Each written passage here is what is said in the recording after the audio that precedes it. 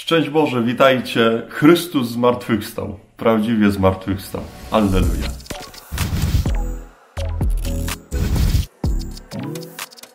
Szczęść Boże, kochani, witajcie. Dzisiejsze słowo, którym się modlę, to Emaus.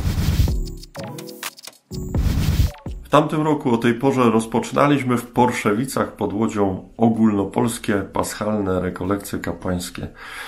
Tak samo miało być w tym roku. Niestety pandemia koronawirusa przeszkodziła nam niestety w zorganizowaniu tego wydarzenia. Ale pamiętam przed rokiem, e, mówiąc homilię do, tego, mm, do tej Ewangelii, podczas Eucharystii rozpoczynającej nasze rekolekcje, arcybiskup Grzegorz Żyś mówił, że Emaus oznacza ciepłe źródła.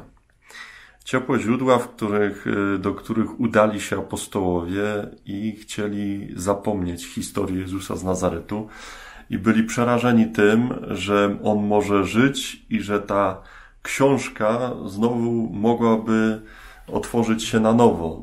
Jakby uczniowie byli wręcz zadowoleni, że skończyło się wszystko Wielki Piątek i nie trzeba przeżywać stresu związanego z tym, że na nowo temat Jezusa z Nazaretu wróci. I te ciepłe źródła przede wszystkim oznaczają tych, którzy no właśnie poszli się już wyluzować, jest nam fajnie ciepło i chcemy zapomnieć o trudnym czasie, który, który za nami. I z tego wyszedłem w mojej medytacji. Natomiast ta medytacja moja nad tym słowem Emaus zaprowadziła mnie e, jeszcze dalej chyba.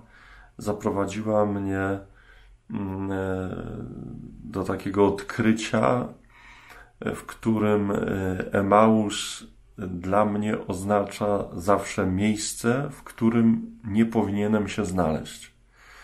Miejsce, w którym wręcz jestem narażony na różnego rodzaju niebezpieczeństwa jako, jako uczeń Jezusa, bo, bo y, Emaus grozi utratą wiary, Emaus grozi grzechem, Emaus grozi zmarnowaniem łask,